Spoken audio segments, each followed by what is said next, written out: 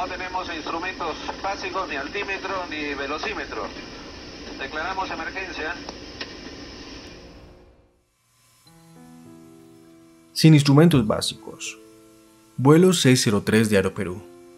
29 de septiembre de 1996, tres días antes del accidente. Recién amanecía. Aeropuerto Internacional Jorge Chávez, Lima. Sobre las 6 y 30 de la mañana, un Boeing 757 rodaba a posición para despegar.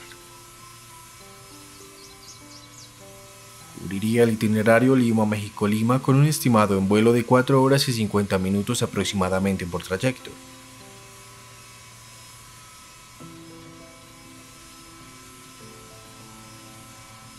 El moderno avión despegó sobre las 6 y 45 de la mañana, y en su decolaje el fuerte sonido de los motores asustó a un grupo de aves que estaban cerca de la pista. Una de estas se atravesó en la trayectoria del avión y fue aspirada por el motor izquierdo. Los pilotos sintieron el ligero impacto, pero el motor continuó su funcionamiento normal. Y dentro de cabina no se presentó ninguna alarma, por lo que el vuelo pudo continuar destino a México de acuerdo a lo previsto. El 757 pertenecía a la aerolínea bandera de Perú, Aeroperú, una aerolínea que para la fecha completaba 23 años de servicio estatal. Este avión había sido construido el 16 de noviembre de 1992, completando 3 años y 11 meses de antigüedad a la fecha. Año y 5 meses después de su construcción, fue rentado por Aeroperú, y en la compañía ya llevaba 2 años y 5 meses volando sobre cielos peruanos. Era el segundo 757 de la flota. Aeroperú había estado pasando por problemas financieros muy complejos debido a la mala administración de la compañía, o así se hacía creer. Así que el gobierno, bajo este pretexto, tomó la decisión de privatizarla y en 1993, siendo Aeroméxico el mejor postor, adquirió la compañía y empezó a administrar la decaída aerolínea peruana. Es así que se le da un impulso importante, las operaciones de Aeroperú crecieron significativamente, se elevaron estándares de seguridad y se adoptó una nueva imagen corporativa. Esto logró que la compañía se consolidara a nivel internacional con vuelos a las principales ciudades de América. Era parte de la publicidad que se hacía después de que Aeroméxico la comprara, pero Aeroperú, realmente para 1990 y durante los siguientes tres años, pasaba por el momento más exitoso de la compañía. A pesar de esto, los intereses políticos y la corrupción cambiarían el destino de una de las aerolíneas más queridas por los peruanos. Después del desembarque de los pasajeros en México, se realizó una inspección visual a la aeronave y se evidencia que dos de los álabes de la turbina del motor izquierdo sufrieron daños. Así que ordenan que al regresar de nuevo a Perú, el avión sea llevado al hangar para la reparación. Los detalles son importantes, así que acompáñenme en esta historia. De regreso en Perú y siguiendo lo ordenado, el avión fue llevado al hangar para realizarle el cambio de los álabes de la turbina. El mantenimiento debía hacerse con premura, pues como es usual en la aviación, un avión en tierra solo genera pérdidas económicas, así que los trabajos en el motor avanzaban progresivamente. Primero de octubre, 18 horas antes del accidente. La pintura característica de la aerolínea bandera del Perú consistía en un color blanco en su parte superior seguido de una franja azul y roja, y el vientre de la aeronave era metálico o en algunos aviones era de color gris. Esto debido a la nueva imagen corporativa adoptada basada en la empresa mexicana. En noviembre 52 Alpha Whisky, que completaba dos días en tierra, había recibido este cambio unos meses atrás, pero aprovechando su paso por el hangar, se le daría un retoque de pintura necesario y trabajando contra reloj se inició el procedimiento. Para ello los técnicos de mantenimiento acostumbraban a tapar las tomas estáticas del avión con cinta adhesiva gris, para evitar que partículas o mugre ingresaran en ellas. El motor ya había quedado reparado.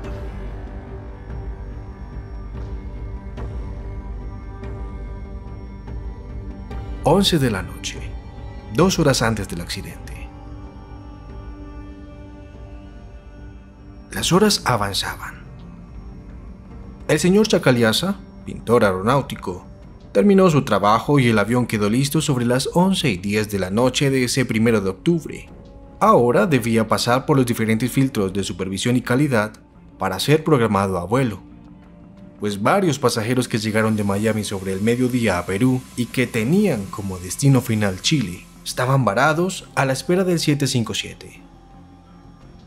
Finalizados los trabajos, dos supervisores de turno y posteriormente un supervisor de control de calidad inspeccionaron el avión, pero ninguno de los tres encontró nada inusual. El avión fue remolcado prontamente a plataforma y entregado al comandante Eric Schreiber, piloto del avión, sobre las 11.50 de la noche, quien durante la inspección de prevuelo y apoyado de una linterna tampoco observó nada fuera de lo común. Después de una maratónica jornada de mantenimiento y pintura, el avión quedó listo para volar y 61 pasajeros después de una larga escala por fin eran llamados a la sala para abordar el vuelo 603 con destino a Chile. La tripulación está conformada por 7 auxiliares de vuelo y 2 pilotos con una experiencia de vuelo de muchos años. Eric Schreiber, piloto al mando, tiene 58 años de edad y en su hoja de vida se reportan casi 22.000 horas de vuelo totales. En el equipo ha volado 1.520 horas. Schreiber, además de ser un veterano de la aviación peruana, se desempeña como instructor de Boeing 757 y es el jefe de pilotos de la aerolínea. Su copiloto David Fernández tiene 42 años de edad y está cercano a las 8.000 horas de vuelo. En el equipo ha volado 719 horas. Con todo listo, el avión es remolcado. Rueda lentamente al punto de espera de la pista 15 pasada la medianoche para despegar con rumbo sur. Se completan las respectivas listas de chequeo sin novedad y reciben la autorización de control para proceder de acuerdo a plan de vuelo. El código transponder con el que será visualizado en el radar es 5603. Excelente, autorizado a Santiago, PON número 1, nivel inicial 290, proceder en ruta, transponder 5603. Próximos al punto de espera, el controlador de superficie lo cambia a frecuencia de torre para que el controlador de esta posición lo autorice para ingresar a la pista y despegar. Las condiciones meteorológicas son muy buenas. Es una noche tranquila. A pesar de que había 69% de iluminación lunar para ese 2 de octubre de 1996, esa noche sería totalmente oscura, pues la luna se había ocultado sobre las 3 y media de la tarde, aunque para un vuelo instrumentos y un avión con esta tecnología de navegación, este dato no es imprescindible. Después de algunas verificaciones previas y completada la lista de chequeo before takeoff, Schreiber aplica potencia y el avión pronto rompe la inercia e inicia su carrera de despegue a las 12 y 42 de la madrugada del 2 de octubre de 1996.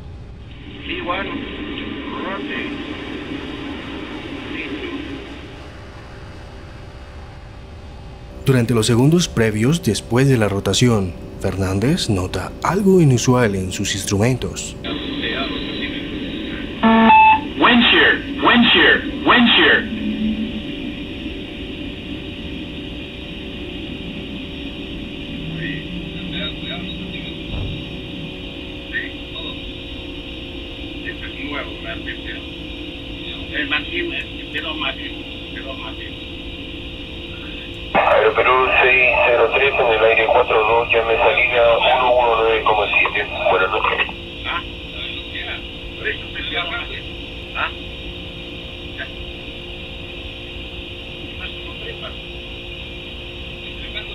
Espérate, no.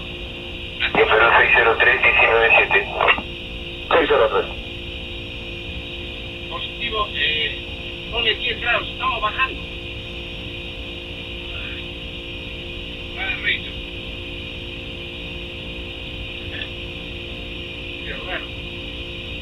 cabina se han quedado sin altímetros y los velocímetros también están arrojando información errónea. El mando del avión lo tiene el primer oficial David Fernández y Scraver le pide virar a la derecha mientras verifican los manuales para poder encontrar una solución. Mira a la derecha. Sube, sube, sube, sube, sube. Sube, estás bajando. Eh, eh, David, estoy arriba. Sí, pero se ha trancado. Max Green Brother Bridge. Las tomas estáticas, al estar obstruidas, generan un grave conflicto en la computadora de vuelo del avión, ocasionando la activación de diferentes alarmas, todas relacionadas con altitud o velocidad, entre ellas Wind Shear, Rudder Rage y Mass Speed Tree. Eh, no creo, ¿eh? La velocidad ya está mejor, ¿eh? Sí. Carajo, Brother Bridge. Puta, ¿qué dice acá? Max Green, Max Green, mira. La velocidad, vamos a instrumento básico. En vista de que no pueden solucionar nada, desconectan el acelerador y piloto automático y se declaran en emergencia. Ido toda la mierda.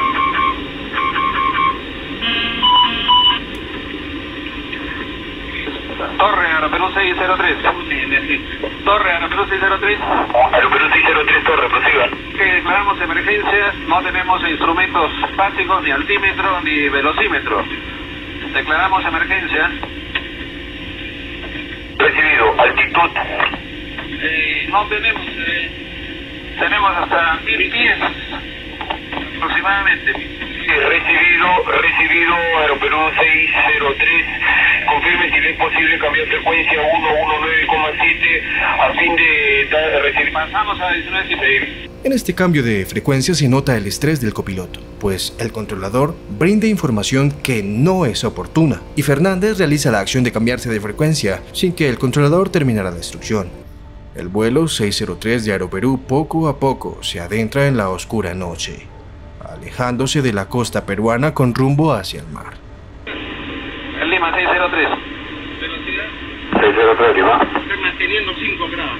Sí. Si solicitamos que nos vectoree para ILS piso Todavía no, todavía no vamos, vamos Correcto. estabilizar. Se recibe por la derecha, rumbo 330. Si le saca Radio Derecha, rumbo Bridge, 330. Afirmativo, y mantenga la presente altitud. altitud no podemos. ¿Qué nivel tenemos? Eh, tenemos 4.000 pies, a ver si nos confirman. Correcto, mantiene 4000. Ambos pilotos dentro de cabina no logran ponerse de acuerdo. Todas las alarmas activadas los confunden y esto evita un correcto manejo de recursos de cabina para poder encontrar un plan efectivo que les permita aterrizar a salvo. Da la velocidad, por favor, si nos ven el radar. Sí, afirmativo, atento 10 segundos. Parece que está subiendo porque se reserva con nivel 6-0 a 22 millas al sur. Y está volando con un rumbo de 195. Sí, tenemos bien eso, el 190, tenemos rumbos, eh, rumbo 190 y eh, tenemos el altímetro 6.000 pies. Sí, correcto, 7-0 está alcanzando ahora. Tenemos problemas de controles también, ¿eh? Ok, el recibido. A ver, eh, Radio Radio eh, Max 3.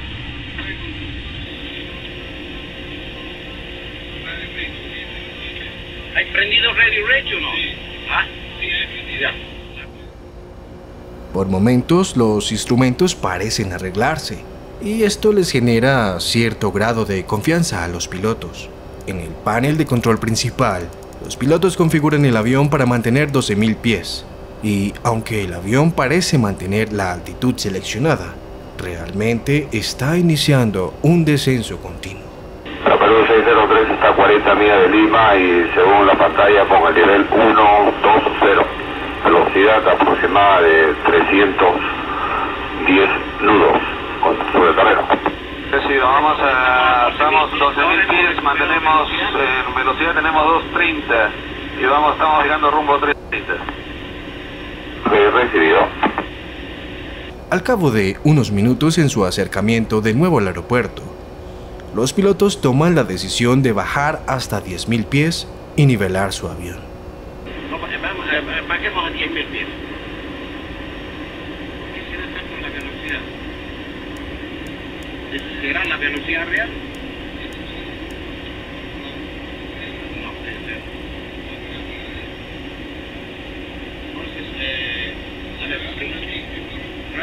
Max Speed Trim, no Max Speed Trim.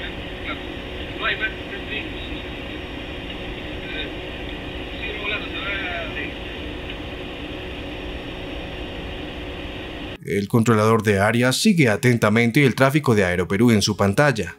Este radar recibe la información que arroja la computadora de vuelo del 757, viéndolo nivelado a 10.700 pies. Pero lo que él no sabe es que la información que está recibiendo el radar también es información errónea y no puede alertar a los pilotos de su descenso continuo. El observa cruzando el 260 de Lima a 31 millas al oeste. El nivel es 1 0 más 700 y velocidad aproximada de 280 sobre el terreno. En este descenso continuo, el aumento progresivo de la presión altera aún más toma de datos de los sensores obstruidos, por lo que los velocímetros indican alta velocidad, pero al mismo tiempo se activa la alarma de pérdida de sustentación.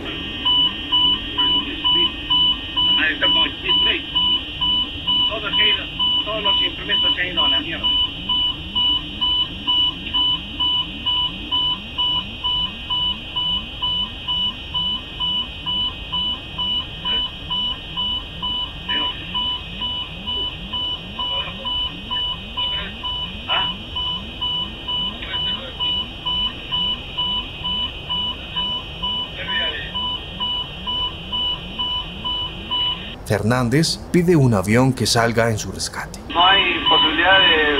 Seguimos en alta velocidad. Por favor, este... Correcto, se avisaba rescate. solicitamos un... avión. ¿Hay algún avión eh, que pueda salir a rescate de nosotros? Espérate, no, no. Sí, con eso vamos a coordinar de inmediato. Está coordinando de inmediato. Scraper no está de acuerdo. Un avión que nos pueda servir, un avión que nos pueda servir de guía, algún eh, aeroperú que esté por ahí, algo. No, no le digas nada a eso. Sí, porque estoy- ahorita estamos en Atiende, tenemos un 707 que va a salir para Pudahuel y le está avisando. Con todas las alarmas activadas, la confusión en cabina es muy alta. El avión desciende peligrosamente y se activa la alarma de proximidad con el terreno.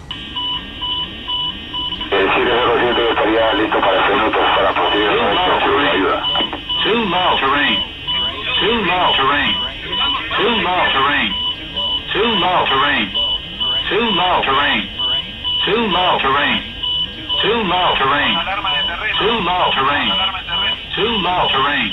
Los pilotos hacen caso a esta alarma y suben el morro del avión. Reiteradamente durante todo el vuelo han intentado activar el acelerador automático, pero este no funciona. El avión en su altímetro indica 9.700 pies y asimismo se observa en el radar, pero realmente está descendiendo nuevamente de manera inadvertida.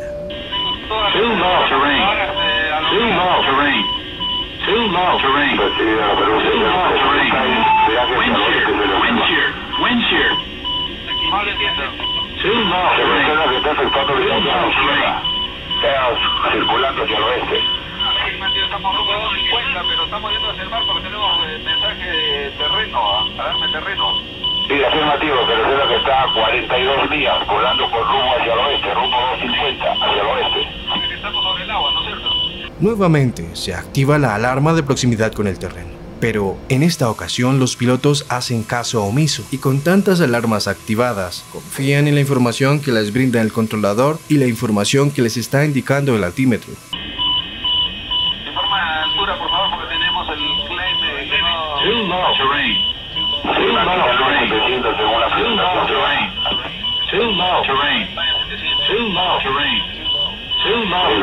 Cual de la altura se indica el avión tiene terrain. Two mile terrain. Two mile terrain. Two mile terrain. Two mile terrain. Two mile terrain. Two mile terrain. Two mile terrain. Two mile terrain. Two mile terrain. Two mile terrain. Two mile terrain. Two mile terrain. Two mile terrain. Two mile terrain.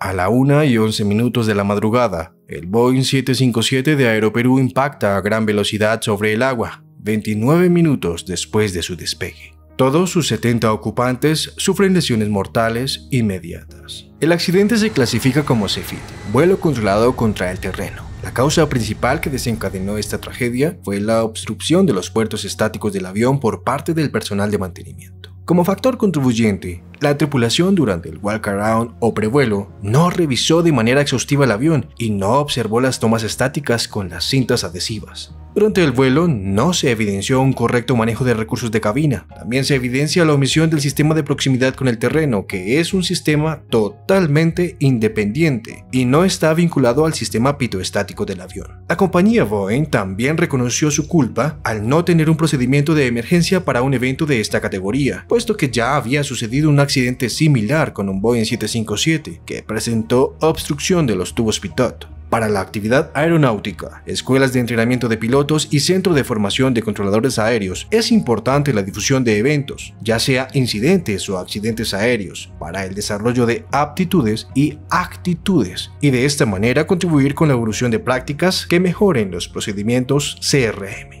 Finalmente, Aeroperú, debido a una mala gestión económica, ocasionada por el consorcio mexicano Sintra, entra en quiebra y el 10 de marzo de 1999 cesa sus operaciones. Este video es en homenaje a la aerolínea más bonita que tuvo Perú y a quienes formaron parte de ella. Pero principalmente es un homenaje a las 70 personas que volaron más alto aquel 2 de octubre de 1996. Paz en sus tumbas y un saludo fraterno a sus familias. Esto fue todo. Cordial saludo Jimenito 1010.